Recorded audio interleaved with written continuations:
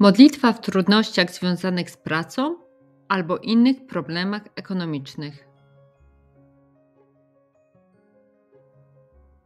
W imię Jezusa Chrystusa, za wstawiennictwem Maryi Dziewicy i wszystkich świętych archaniołów, a szczególnie świętego Michała Archanioła, wszystkich świętych aniołów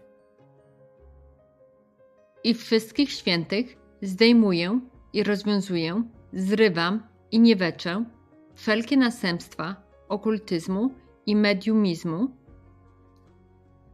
wszelkie związki mentalne i telepatyczne, które zawarłem poprzez myśl, słuch i słowo.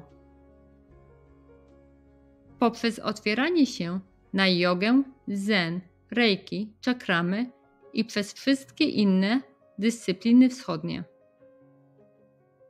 A także każdy rodzaj ezoteryzmu przez nekromancję i spirytyzm, które mnie oddaliły od Boga.